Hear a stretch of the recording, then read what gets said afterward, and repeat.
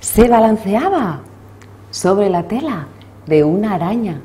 Como veía que se entretenía, fue a llamar a su amiga Chloe. Dos, somos muy pocos. Eh, mejor eh, llamamos a otro. Y como veía que se divertían, fueron, invitaron al gran mm, Horacio. ¡Eh! Tres está bien. Pero si la tela resiste, ¿por qué no seis? ¡Ay, cómo veían! ¡Que tanto y tanto! Se reían, llamaron a Ton, Pon y Lulo. ¡Ah! Mm, seis, seis no está mal. Pero si la tela aguanta, podemos ser más.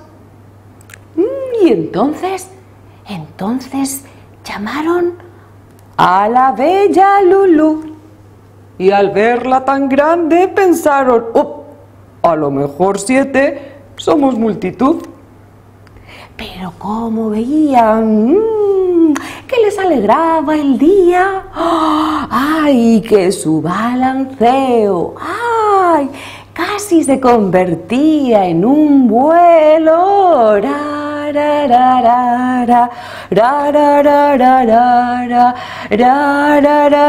Oh, oh. ¿Eh? ¿Qué hacéis aquí? Todos fuera. Largo de mi tela de araña. La araña estaba muy, muy, muy enfadada. Ahora mismo os vais. Ahora corto la tela y todo el mundo fuera. A la chas, chas, badabum. Todo el mundo se cae sin decir ni mu. Y así lo hizo la araña. A la chas, chas, badabum. Todo el mundo al suelo sin decir ni mu. Va, da, bum. Todo el mundo al suelo sin decir ni mu.